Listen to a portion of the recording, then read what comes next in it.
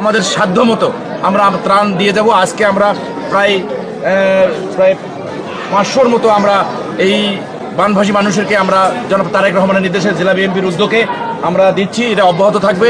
আমরা প্রিয় এই এলাকাবাসী, আপনারা অবশ্যই মনে করবেন যে এই তিস্তা আমাদের আমাদের একটা, এটা একটা একটা ক্যানেল যে তৈরি করেছিল জিয়াউর রহমান, এটা দিয়ে আমাদের এই শেষ এবং পানি দিয়ে পানি সংরক্ষণ করে এটা আমাদের উৎপাদনের জন্য কাজ করতে, এটা আপনারা জানেন, সেটাকে আমাদের কাজ করার জন্য যে পানি আসবে, এই পানিটা সংরক্ষণ করে আমরা ইরিগেশনের জন্য এই পানিটা আমরা ব্যবহার করি।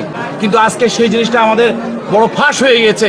এই ভারত সরকার বা এই ফারাক্কা বাদ দিয়ে যখন আমাদের পানির প্রয়োজন তখন পানি দেয় না, আর যখন পানির প্রয়োজন নাই তখন এই বাঁধ খুলে দিয়ে এই বন, বান ভাসিয়ে আমাদেরকে ভাসিয়ে দিয়ে যায়। হঠাৎ করে বান, বানের পানিতে আমাদের বাংলাদেশ একটা বিপর্যয়ের মুখে ছেড়ে দিচ্ছে।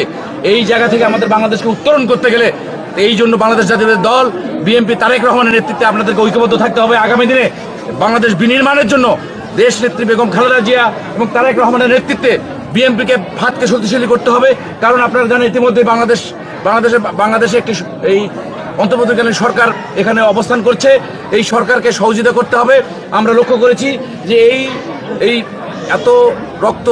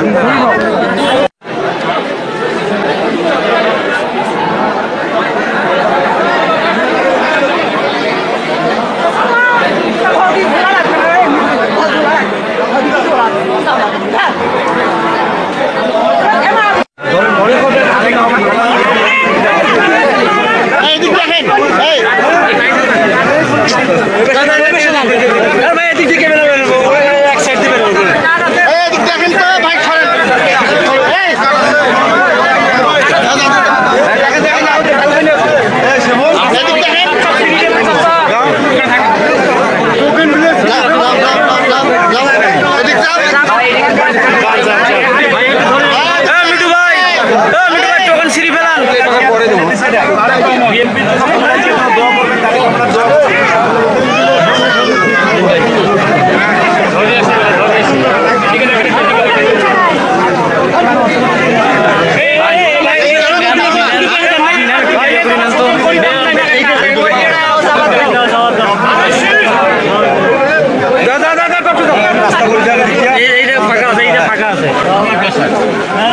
さすが100